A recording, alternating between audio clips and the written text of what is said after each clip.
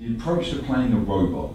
So when you're doing the thing where the robots are switched off and you're sitting still and you're staring straight ahead, where does that come from? Do they, do they go through how you do that? Are you all supposed to do it in the same way? Or is that just going back to drama school? What's that? Yeah, that's just figuring out how to be very still and, and well, this you know I've never played anything like that before. It's it's very new uh, for me to be able to play something that it's actually not a robot.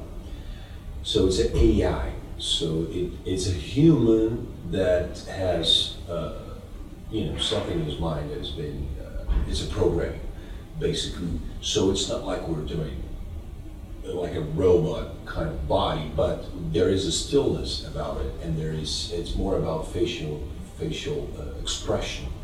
Um, and when we go when we go to those places where they're fixing us or whatever, we have to behave like we're just in a sort of like a neutral mode. Um, it's all about you know stillness, and it's sort of like a, a meditative state. Okay. You know, like I've, I've, I've done meditation before. Um, Does that help? Does that, do you feel yourself relaxing yes, like that? Yes, it's all about breathing. It's all about just trying to be in the moment and not let your mind go crazy, uh, which is pretty difficult. Yeah. But it's basically just, uh, you know, try not to, uh, try not to think that much. And even though when you think you don't want to think, you already think. right? That's that's the principle of meditation. It's like, okay, I, I'm not gonna think, I'm not gonna think. You're thinking. So basically, it's about letting it all sink, and, and slowly the thoughts are going to be, you know, disappearing. And when you realize your mind is just calmer, that's it. And that's where I try to go when I have to play those scenes. It's like acting without acting because you're, you're working incredibly hard to be that still, but you're not technically doing anything. Yeah, yeah, yeah. It's it's um, it's subtle, but uh, know. Um, when you accepted the role, obviously now when we look at the show, it's like this is astonishing, the style of it is, is fantastic. But when you accepted the role, were you remotely nervous about it? Uh, playing, as you say, an AI, an android. Were you, were you like, how's this going to look? Yeah, yeah. I was I was curious. I was uh, a bit anxious to understand. Uh, first of all, there's no backstory, or there's I mean, there's nothing to really uh, work with in terms of preparation, uh, and that was kind of uh, very new and also a little bit uh, uncomfortable, which I thought was good because uh, uh, playing a host is it's very much about being like in season one you see Hector as this archetype, you know, kind of like the villain, the macho guy. It's like a type.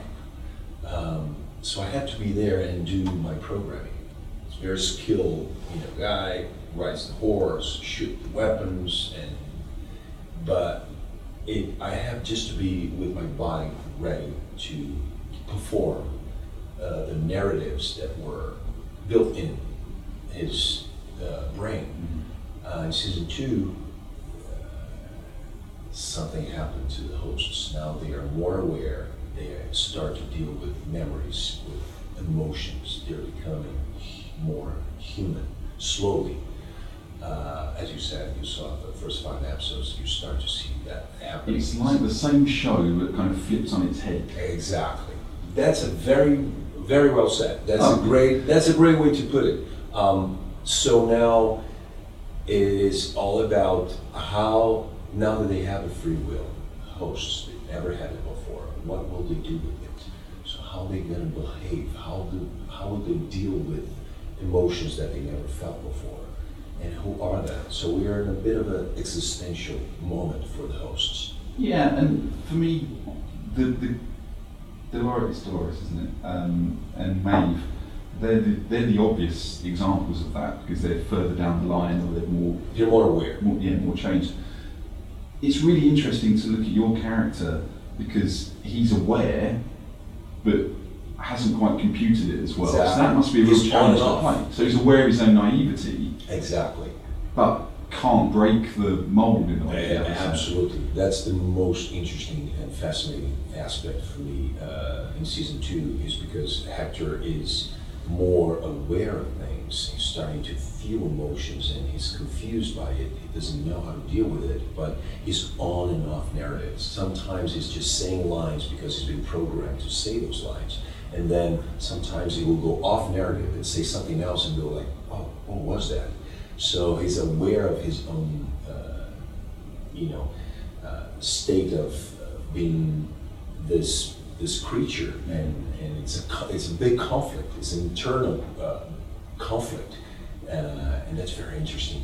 It must give you more to work with. As you say, you didn't have a backstory at the start, but now you've got that to build exactly. on. So season two must be quite thrilling for you. It, it was very, very interesting because it's, it's very subtle, it, it, like little nuances. I, I, the way the way it felt was like, you know, any human being, you know, throughout your day, you go through very different emotions. You know, different emotions. Like you're happy, you're tired, you're their own emotions.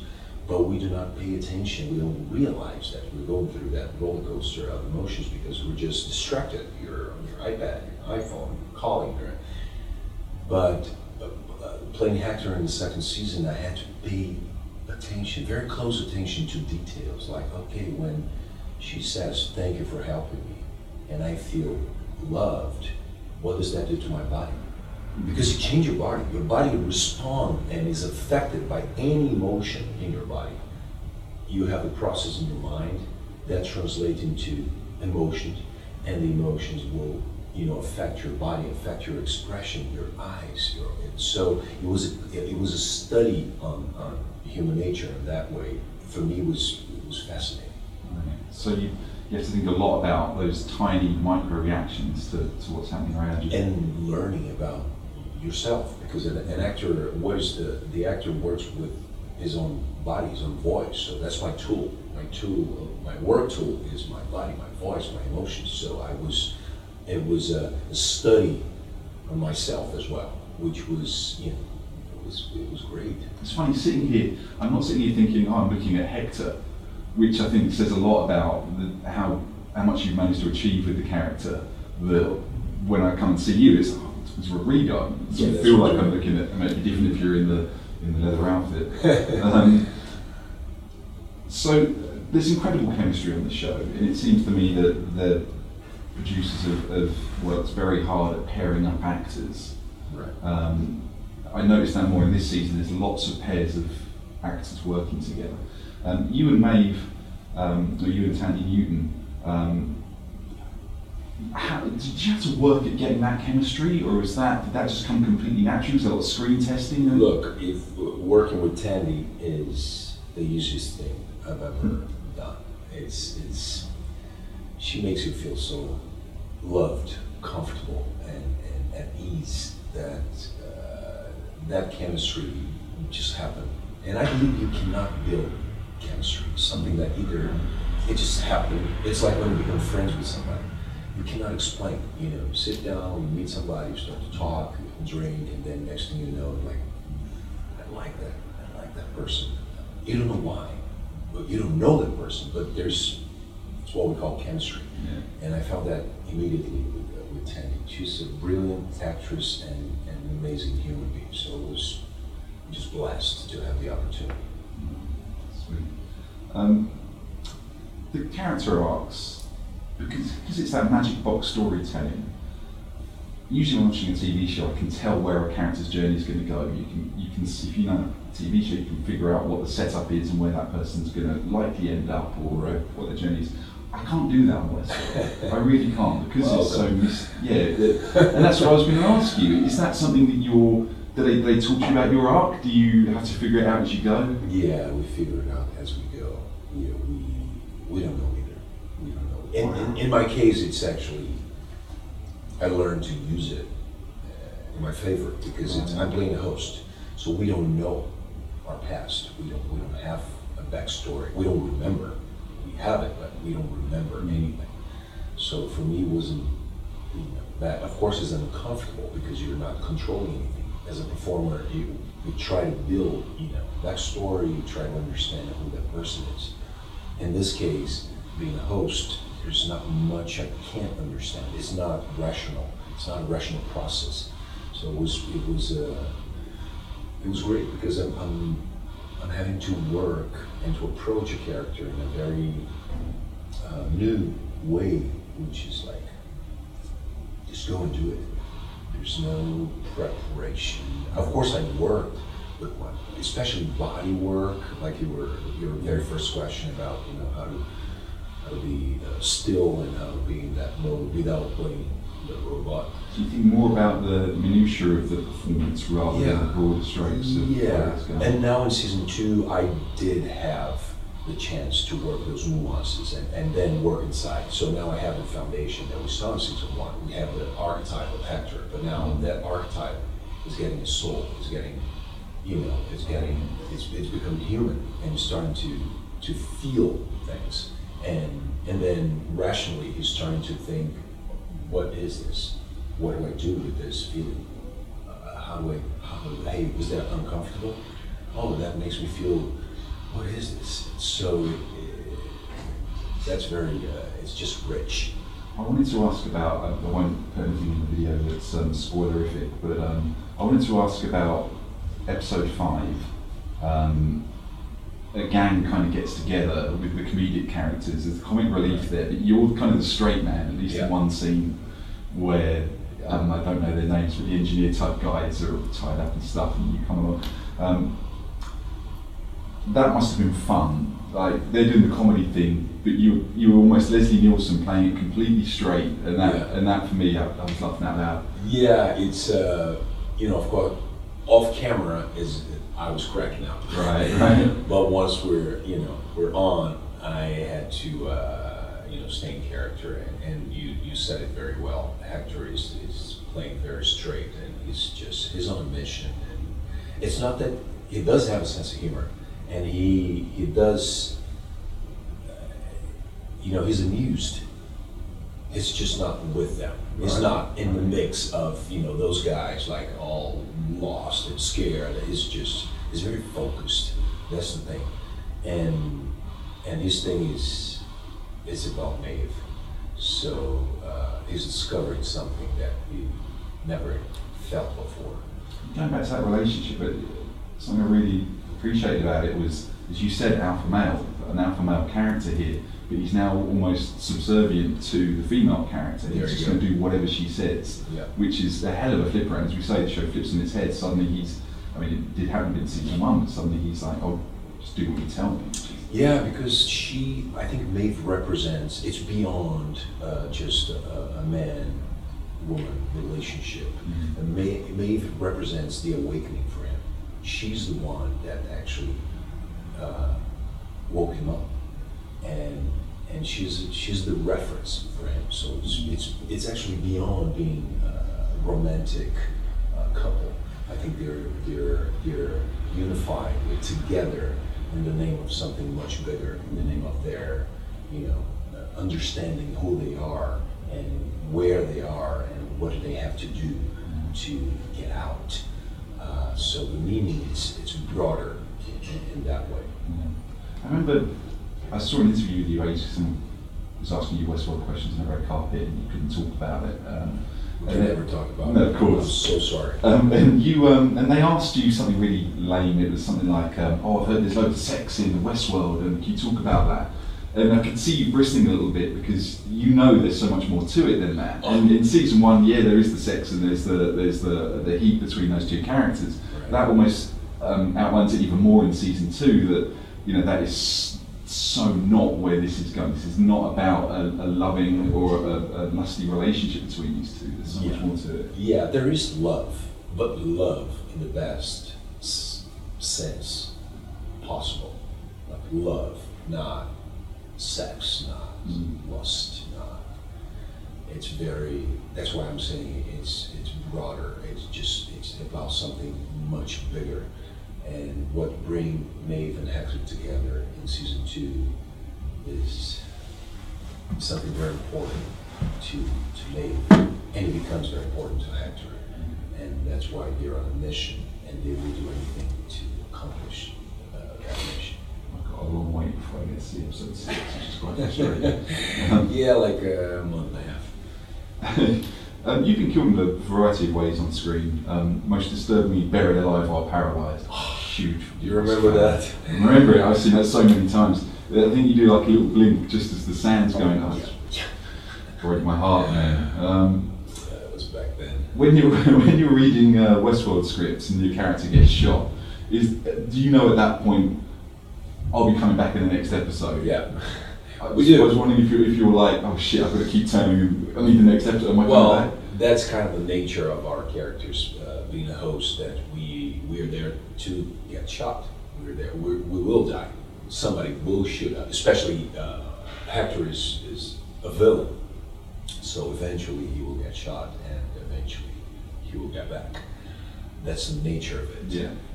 But we never know. So I just play one day at a time. Um, as I went through your um, IMDb credits, um, I noticed that a lot of your characters tend to be good guys, but they're never black and white. It tends to be characters with a with a bit of a naughty streak or a bit of a, um, a bad boy streak, but generally good characters. Is that something you look for? I mean, in Westworld, you're playing a guy who is an archetypal villain when he turns up, but as we're going through the show, we become really sympathetic with him. The Last Stand, we become deputy, and um, is that is that something that you're aware of? Is that conscious? No, you know, I, I, I must say I have an appetite for non-average Joes, like they say in America. You know, I, I, I like to, uh, when I work, I, you know, the process of preparation, of preparation and research, to me is the most interesting uh, part of the process because it's where I, where I learn, it's where I understand about life, about people, and I do like to go out of my comfort zone in that way, trying to, uh, you know, play characters that are far from my reality. I do try to go and, and do different stuff because I think that's more interesting for me as a process, uh, as a learning process, and I'm going to become more mature as, a, as an actor, as a, as a person. Um, so I, I, you know, my tendency is not to go for the, you know, the, straight just guys that I that I would know how to play. I, I need not to know. I need to look and say I don't know this person. For instance, 300. 300 is uh, based on a graphic novel, and when I first got the, uh, the, the graphic novel and I looked at the, the drawing, it was there's nothing to do with me, even the, physically and for some reason they couldn't find an actor to play that part. And then you know, they asked me to put myself on tape, and and I look at that and I, I thought, well, that's a bizarre looking uh, character that belongs to a completely unknown world for me, and that attracted me instantly. Um, I ended up getting part, and it was it was a journey of uh, my God, it was amazing how much I learned not only about history, about you know just trying to create that character, which is a which is an entity, which is not like a human being. It's it's a completely different world. I've never worked with such a stylized, you know, kind of uh, project before. So I like that. I like visiting, you know, foreign uh, territories uh, because I think that's how I that's how I learn. Um, Westworld has a huge cast of very high quality actors. Which of the cast that you haven't worked with yet would you really like to spend at least a scene with? You mean in Westworld? in Westworld yet? I haven't worked with Evan, Rachel Wood, Dolores. I mean, we crossed a little bit. I think you saw it. Yes. Right? Yes. Yes, you're brief right. moment. Um, I did have a chance to work with Ed Harris, which is a, a huge reference for me as, an as an artist. Uh, but it was very quick. I wouldn't mind having more time with him on screen. And of course, you know, Anthony Hopkins, but he died in the first season. uh, I don't know. We never know. Westworld, we, we play here with different timelines, so eventually uh, that would be cool too. Yeah, Ed Harris for me. Yeah, Harris. Harris. So I, I want to be in the show just a little bit. Harris. come on. Ed Harris is amazing. Uh, I did have one scene with him where I am in the jail in the first season. I'm in Yes, I jail remember, and he yeah. comes to rescue me. It was a quick moment, and I had one of the best days ever uh, with him. So it would be great to get together again. Good stuff. That's all I've got. Cool. Thanks, Rodrigo. Really appreciate your time. That's really good stuff. That's cool. Ladies and gentlemen, you're watching HeyUGuys! Hey, you guys, huh? Hey, you guys. Is that from the Goonies? It is indeed, yes. Nice. Hey, you guys!